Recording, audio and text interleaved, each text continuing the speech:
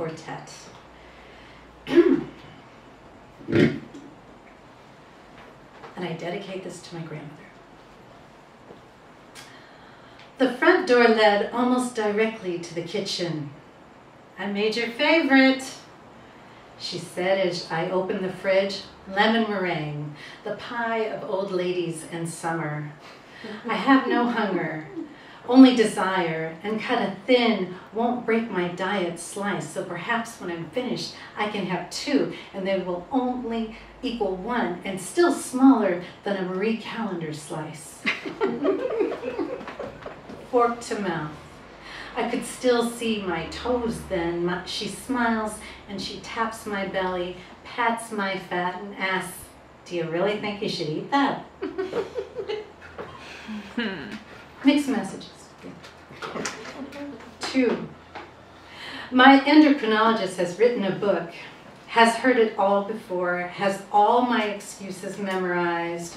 He tells me we need to be more aggressive with my thyroid. I imagine us sending twig blondes with pitchforks telling my thyroid to wake the fuck up. My body is, after all, a battleground. Twig blondes handing out sorority rush flyers. There's a party later, and one of them hands me a flyer, the other one rips it out of my hand.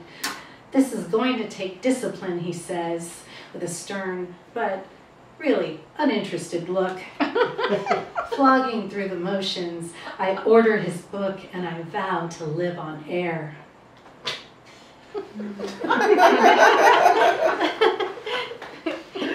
Three.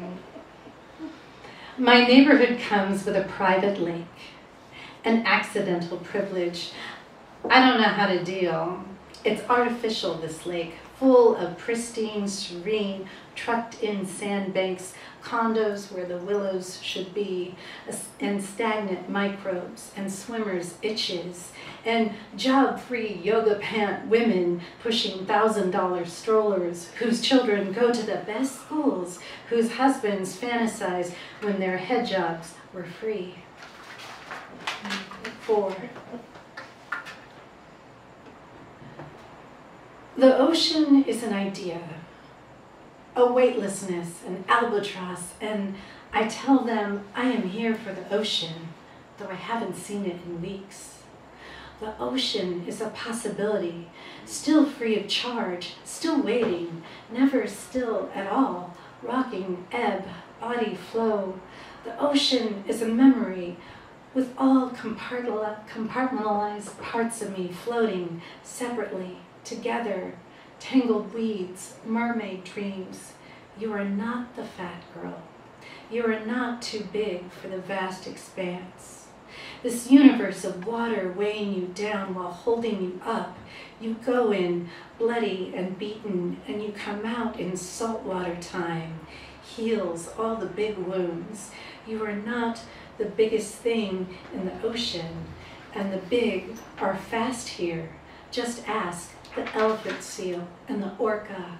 Ask the woman who dives in again and again, free until she re reaches the shore.